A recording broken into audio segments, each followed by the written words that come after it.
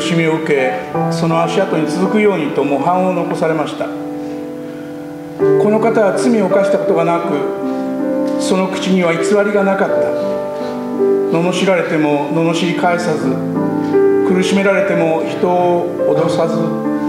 正しくお裁きになる方にお任せになりました。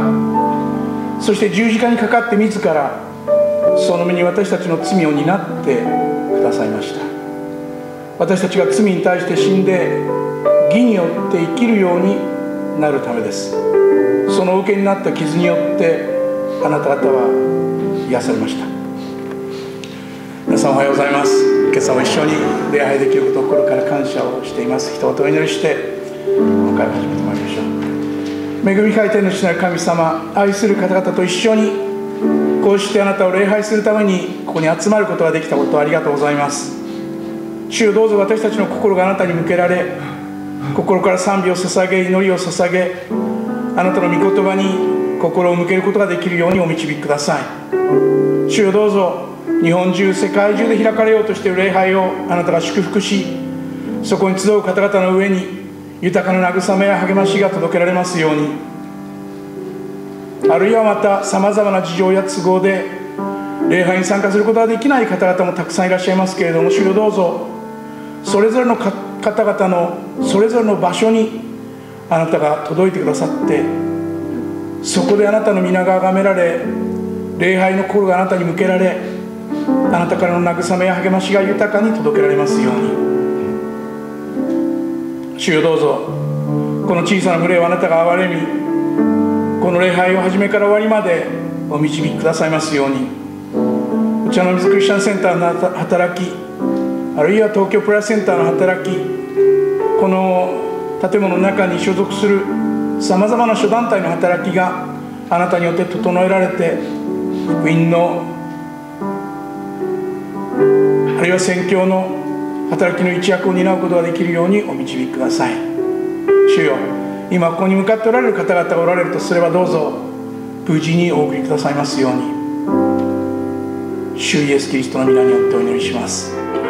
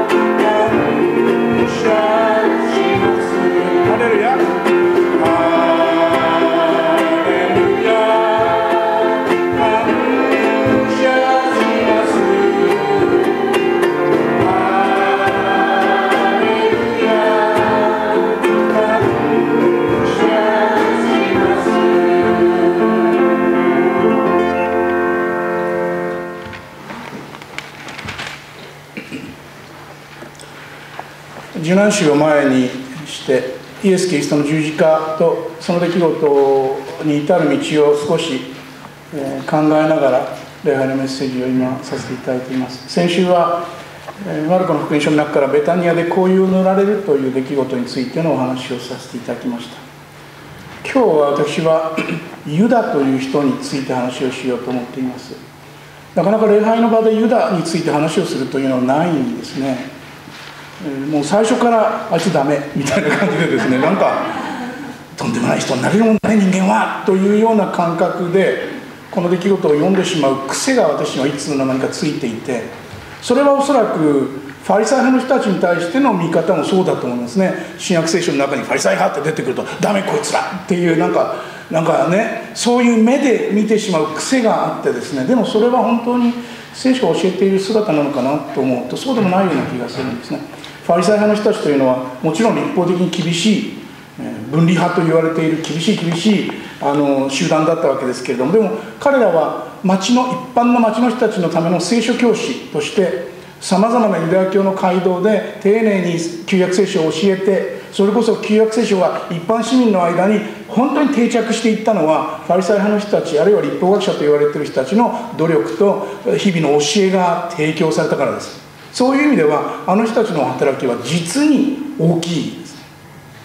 ただある人たちはそういう中で極端な立法主義に走ったということが問題だっただけでファリサイ派の人あるいは立法学者の人たちというのは決していわゆる悪者ではないのです。そういうふうに考えながらユダのことを考えてみるとですねちょっと違った見方ができるような気がします。ただユダに対するあの好意的な文章とあんまりなくてですね、えー、なんかちょっとこういじめられっ子みたいな感じがしてしまうんですけれども聖書でどう言ってるかちょっと見ていきたいと思います。マルコの福音書の14章のまず10節からちょっと読んでいきますけれども12人の一人イスカリオテのユダはイエスを引き渡そうとして最初たちのところへ出かけていった。彼らはそれを聞いて喜び金を与える約束をした。そこでユダはどうすれば折よくイエスを引き渡せるかと狙っていた。つまりユダがイエス様を売り渡すと言いますかその計画は前からあったということはここで明らかですね。マタイの福音書によるとその時に受け取る額は銀貨30枚というふうに言われています。銀貨30枚。しかし銀貨30枚というお金はその当時の奴隷一人を買い戻すお金なんですね。よくよく考えてもし本気でイエスを売って自分がボロ儲けをしてそしてこんなところにいらいられないから外国に逃げて無事な生活をしたいと思うのであれば銀貨30枚で売り渡すなどということは決してなかったと思います。イエス・キリストを売りたいと思う。その背景にあったのは決して裏切りというよりもむしろこの指導者と私は話が合わなくなってきている。ということから来ているように思います。その前のところでも弟子たちもそうですけどユダもイラつくんですよね。このマリアが香油を持ってきて高い香油を持ってきてイエス様の足にかける頭にかけるという、えー、描写があります。それに対して弟子たちもユダもなんでこんなもったいないことをするんですか？貧しい人たちに売ればあの売って貧しい人たちに施しを与えればものすごく300点ならにもなるじゃありませんか。でもイエス様は弟子たちの味方をしないでこの女性の味方をするんですよね。そういう出来事というのは弟子たちにとっては結構尺に触るわけではないんですけれどもえ？と思うに違いない。つまり弟子たちの心の中には相変わらずこのイエスという人は私たちの救い主であってしかも社会的に政治的にこのローマに屈服しているこの状況から私たちは解放されて私たちが主体になって貧しい人たちのないその社会正義を実現するのだというそんな意欲に燃えていましたからこのズレは結構大きかったんですね。え？イエス様貧しい人たちよりも自分にそれがこう提供されることで喜んじゃっていいんですか？あの人たちを見殺しにしちゃっていいんですか？というふうな思い。政治的な旗揚げはしないんですか？というふうな思い。一つの考え方とすれば銀貨30枚で売り渡してそしてどこかでイエス様気づいてくださいよ。この人たちだってあなたを捉えようとしていますけれどもあなたはそこでこそ力を見せて政治的な社会的なそして要するに支配するというその力を見せてくださいよという思いでユダはイエスを売るということを計画したのだろうと考えます。マルコの福音書の14章の12節女皇祭の第一日すなわち杉越の子羊をほふる日弟子たちがイエスに杉越の食事をなさるのにどこへ行って用意いたしましょうかと言った。そこでイエスは次のように言って2人の弟子を使いに出された。都へ行きなさい。すると水がめを運んでいる男に出会う。その男その人についていきなさい。その人が入っていく家の主人にはこう言いなさい。先生が弟子たちと一緒に杉越の食事をする私の部屋はどこかと言っています。すると席が整って用意のできた2階の広間を見せてくれるからそこに私たちのために準備をしておきなさい。弟子たちは出かけていて都に行ってみるとイエスが言われた通りだったので杉越の食事を準備した。夕方になるとイエスは12人と一緒にそこへ行かれた。一同が席について食事をしている時イエスは言われた。はっきり言っておくがあなた方のうちの一人で私と一緒に食事をしている者が私を裏切ろうとしている。弟子たちは心を痛めてまさか私のことではと変わるがある言い始めた。イエスは言われた。12人のうちの一人で私と一緒に鉢に食べ物を浸している者がそれだ。人の子は聖書に書いてある通りに去っていく。だが人の子を裏切るそのものは不幸だ。生まれなかった方がそのもののためによかった。という記述。まあ最後の晩餐として知られているその杉越の食事。その用意があってそしてそこでイエス様が不思議なことを語るわけですね。はっきり言っておくあなた方のうちの一人で私と一緒に食事している者が私を裏切ろうとしている。もちろんこう聖書を読んでる私たちはこれはユダだよなって分かるんですけれどそういう書物のない人たちにとっては誰だろうってこう疑心暗鬼になるわけですよね。しかし弟子たちの反応は非常に面白いのです。なぜかというと弟子たちがまさか私のことではないでしょうねとイエス様に聞きに行くんですよね。それは裏切ろうとしているかどうかはあんたが一番よくわかるでしょうって言いたくなりますけれども私のことではないでしょうかって聞きに行くっていうのはどういうことなんでしょうね。心のどこかにユダと同じようにイエス様とどこか隙間ができている可能性があるのです。弟子たちはみんなどこかでこの方は主だと言い救い主だと言うけれども社会的な勝利はどこにあるんだろう。いつこの方は旗揚げするんだろう。いつこの方は政治的なリーダーとしてみんなの前に現れるんだろう。そんな思いを持っていたに違いない。でおそらくユダと同じようにこのまま行ったら一体どうなっちゃうんだろうという不安な思いをどっかで持っていたに違いない。つまり弟子たちもどこかでもしかしたら私は裏切ることになるのかな？というある意味でのイエス様との距離といいますか隙間というかそれをどっかで感じていたに違いないのです。ただそれを実行に移したのは具体的に実行に移したのはユダですね。でこの今読んだところマルコの福音書の中にはユダだということが直接書いてないんですけれども、えー、ヨハネの福音書の中には明確に、え、ユダという名前が出てきます。このヨハネの福音書の13章の21節。イエスはこう話し終えると心を騒がせ断言された。はっきり言っておく。あなた方のうちの一人が私を裏切ろうとしている。弟子たちは誰について言っておられるのか差しかねて顔を見合わせた。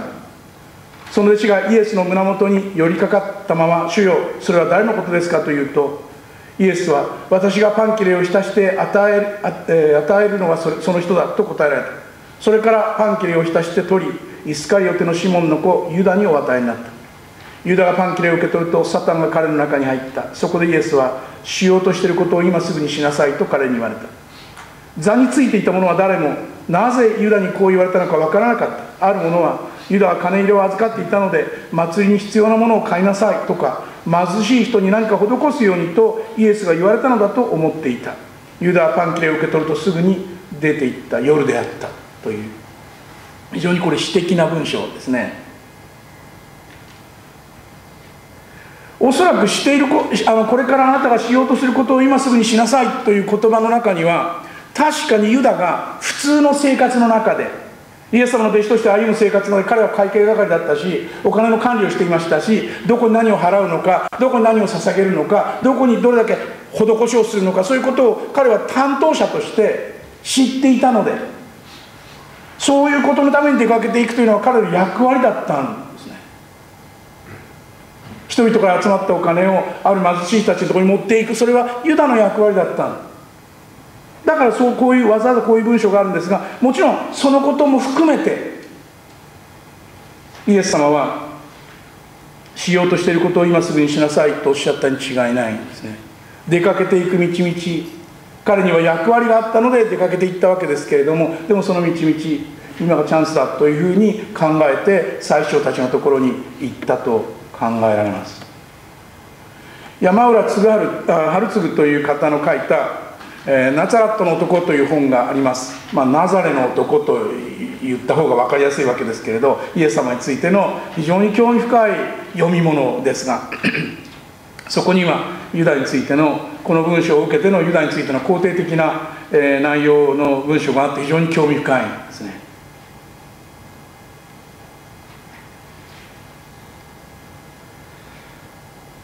イエス様の弟子たちはみんなどこかでこのままでいくともしかすると私はイエス様から離れる可能性があるなということをなんとなく心の中で感じていたんです。ユダはそのことを一番強く感じていて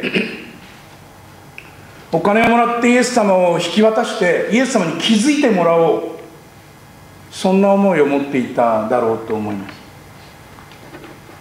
なんでそんなふうに感じるかと言いますかなんでそういうふうに考えるかと言いますと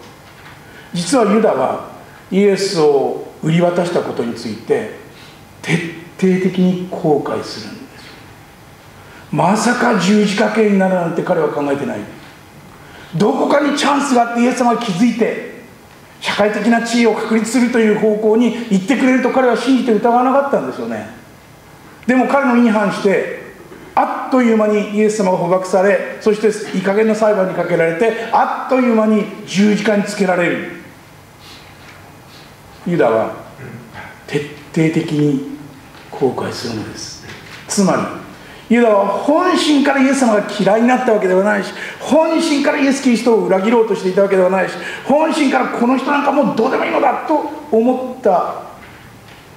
と考えることは難しい。というのもマタイの福音書の中には27章にその頃イエスを裏切ったユダはイエスに有罪判決が下ったのを知って後悔し銀貨30枚を最長たちや長老たちに返そうとして私は罪のない人の血を売り渡し罪を犯しましたと言った。しかし彼らは我々の知ったことではないお前の問題だと言った。そこでユダは銀貨を神殿に投げ込んで立ち去り首をつって死んだ。ということになっています。ですからユダは確かに裏切り裏切りといえば裏切りですが計画したのですけれども私たちが考えているようなもしかしたら私が考えやすいような極悪人でイエス・キリストの顔も大嫌いになってとにかく売ってしまえばいいんだということとは違うようですね。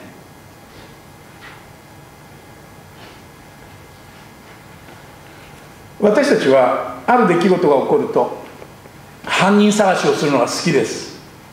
で必ずしも犯人が見つからないという場合でも何か具体的な一人あるいは何か具体的な一つの原因が分かるともうそれを徹底的に中断する。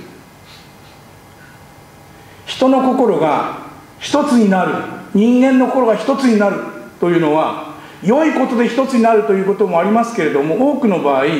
誰か犯人あるいは誰か悪者を仕立に仕立て上げてその人を責め始めるとあっという間に人の心は一つになる。そこに人間の心の恐ろしさがあるとそこに人間の心の闇があると思います。人がな一番仲良くできるのは共通の敵を見つけてその人を徹底的にいじめる。そういうことが始まるとそこにはね一つの非常にこう何て言うか強い絆のようなものが生まれやすいんですね。そういう意味でキリスト教会の中にユダだけをある意味で血祭りにしてああもうこんな人は、ね、いなくてよかったのだというような声が聞か聞かれるというのは実に残念なことです。このユダをイエス様はどう見ていたんでしょう？この弟子たちをイエス様はどう見ていたんでしょう？結論から言いますと十二弟子のほとんどはイエス・キリストの十字架をまともに見ることもできずという間にイエス・キリストを見捨てて尻尻になっていきます。逃げ去っていきます。そのリーダーであったペテロは一晩のうちに3回「あんな人なんか知りませんよ」と言って裏切ります。つまり十二弟子と言われている人たちだって心の中にあったどす黒いあるいは恐れに取り巻かれてしまうという問題は同じなんです。罪という表現を使えばあるいは裏切りという表現を使えば同じものを持っている。じゃあお金をもらって売り渡すようなこのユダに対してイエス様はどうどんな心を持っていたのだろう。マルコの福音書の14章の21節の言葉はとても大切です。人の子これ人の子というのはイエス様ご自分のことを指しているんですけれども人の子は聖書に書いてある通りに去っていく。だから人の子を裏切るそのものは不幸だ。生まれなかった方がそのもののために良かった。というふうに訳されています。新共同訳聖書はそういうふうに訳されています。ところがですね別の訳も可能なのです。ここにちょっと紹介しておきましたけれども塚本虎次という日本の聖書学者がおられて最近新約聖書が、ま、あの新たにまとめられてこの方の訳が出ていますけれどもこの方の訳ではこういうふうになってるんです。ね14章の20節。イエスは言われた。12人の1人私と一緒に一つ鉢から食べるものだ。人の子私は聖書に書いてある通り死んでいくのだから。だが人の子を売る人はああかわいそうだ。生まれなかった方がよっぽど幸せであった。というふうに訳されてるんですね。ここに「ああかわいそうだ」という言葉が本来訳されていいはずというのはね見落としてはいけないことなのだと思います。自分を裏切る。そのことを知っているイエス。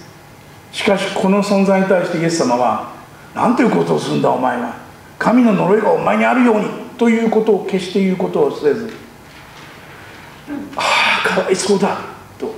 私は死んでいくからそれはそれで良いとしても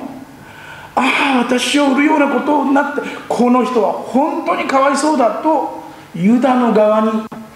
自分の立ち位置をしっかりつけてユダに寄り添うのです。イエス・キリストの愛はあるいは神の愛はユダにさえ寄り添う愛です。遠藤周作という人がイエス・キリストこそ私たちの永遠の同伴者だという言い方をなさいました。永遠の同伴者だユダのような心を持っているとしてもイエス・キリストは「ああかわいそうだ」と言って走り寄るそんなお方なのだということなんです。そして有名なルカの福音書の中に書かれているこの言葉をそういうことを前提に読んでいくと実に大きな恵みがそこにあることが分かります。ルカの福音書の23章の、えー、33節サレ神戸と呼ばれているところに来るとそこで人々はイエスを十字架につけた。犯罪人も一人は右に一人は左に十字架につけた。その時イエスは言われた父よ彼らをお許しください。自分が何をしているのか知らないのです。人々はくじを引いてイエスの服を分け合ったと言います。父よ彼らをお許しください。彼らは自分が何をしているのか分からずにいるのです。この父を彼らをお許しください。というその言葉の中にその祈りの中にユダもペテロもイエス様の12人の弟子たち一人一人もあるいはイエス・キリストを冒涜してイエス・キリストを十字架につけてる人たちもローマの兵士たち遠くで見守ってる一般民衆たちもその全てがこの祈りの中に含まれているのだ。神の御子救い主イエス・キリストの優しさと強さがこの祈りの中に表されています。私たちはそんなにこう簡単にああ私もユダのユダのような心があるなとは思えないかもしれません。精一杯生きており、ね、イエス様を裏裏切るとかそんなことは夢にも思ってない。それは素晴らしいことです。それは素晴らしいことです。でもいろいろな状況の中でいろいろな状況の中で自分の不本意な、ね、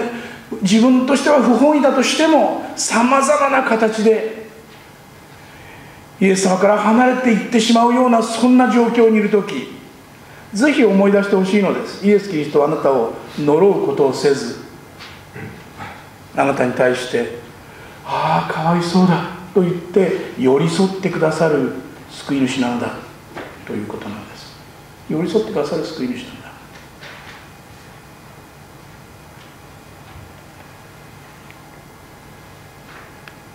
罪の許しとか神の愛とか。私たちはあの人はとんでもない人だよね。この人はとんでもない人だよね。と言ってるうちはね本当のところその神の愛とか神の許しとかということの大きさその意味がなかなか自分の出来事として感じられないのです。自分の内側にまあユダほどではないにしてもあるいはペテロほどではないにしてもなんかすっきりしないものがあってイエス様に対して、ね、イエス様の言葉を聞くあるいはイエス様を礼拝するそういうような事柄についてなんか鬱陶しい気分がありなんか煩わしい気分がありなんか今一つ乗れないという気分がある。それは消極的ではあっても気をつければ気をつけなければそれはイエス・キリストに対する裏切り行為に近いことになるかもしれませんね。そんな時このイエス・キリストの言葉人の子を売るそのような人はああかわいそうだと言われた。生まれて生まれてこなければ良いと思うほど生まれてこなければ良い生まれてこなかった方が幸せだと思うくらい辛い状況にいるこの人ああかわいそうだという思い。そんな心を神は私たち一人一人に向けてくださっているということを忘れずに受難週の期間まあレントの期間を過ごせたらと思うのです。神はその一人子をお与えになったことにこの世を愛してくださったという言葉があります。愛してくださったと言われても具体的にどういうことなのかなかなか分かりにくい。本当に大切だと思い私たちの状況のいかにかかわらず私が喜べば一緒に喜び私たちが悲しければ本当に悲しんでくださるそんな思いを一緒にくださる救い主がおられる。あなたのことをああかわいそうだと言って走り寄ってくださる救い主がおられる。ユダにユダにとっての最大の悲しみは彼がその愛に気づく前に自ら命を絶ったということですそれが最大の辛い出来事だと思います。希望を持ち続け命を大切にし今は分からなくてもどこかできっとああイエス様が本当に私のことを心配してかわいそうな人だねと言って寄り添い抱きしめ私が立ち直るまでずっと私たちを守り続けてくださるお方だということが分かる日までぜひ命を大事にしてほしいのです。自分たちで何にも誇るものがない。それで良いのだと思います。イエス様は別に私たちに頑張ってねこういうことでもっともっと勲章をいっぱい取るようにというふうな生き方を望んでいるのではなくあなたはあなたのいる場所で偉大な信仰は持たなくていいから偉大な神がおられるということを信じて歩みなさいと教えるのです。偉大な信仰を持たなくてもいいけれど本当に偉大な優しさを持っておられる救い主があなたに寄り添ってくださるということを信じて生きていきなさいと語られるのです。イエス様は決してユダを軽蔑なさいませんでした。いやむしろ痛みを一緒に分かち合い許すことの決意を固めておられたに違いないのです。人間的にはなかなか人間的なプラスマイナスで考えるとなかなかそれで神様に何の得があるのかなと思っちゃいますけれど。でも神様の愛ってそういう愛ですね。そんなことをぜひ心に留めながらイエス・キリストの十字架と復活それを記念するイースターまで。ああ愛されている神に愛されているというのはありがたいことなんだなというふうなそんな思いを深めていきたいと思うのです。一言祈りましょう。イエス様。私たちの目から目から見たらユダは呪われて当然という気持ちもあるしあなたはユダを叱責して罵倒してみんなの前で視界飛ばしてもよかったのではないかとさえ感じます。でもあなたはあなたの計画を実現するということのために十字架に向かいユダの弱さをあるいはユダのその役割を本当に心を痛めて見送り許す決意をし十字架の上でまさに許しの宣言をしてくださったことありがとうございます。その愛を私たちにも向けてくださっていることを心から感謝します。私たち一人一人に対して私が一番辛い状況にいる時本当にかわいそうだねと言って走り寄って私たちを抱きしめ私たちを優しく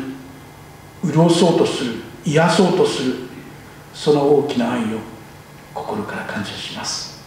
そのことを深く知ることができるようにしてください。神に愛されているというのは私の想像を超えた大きな大きな優しさに包まれていることだ。誠実な神が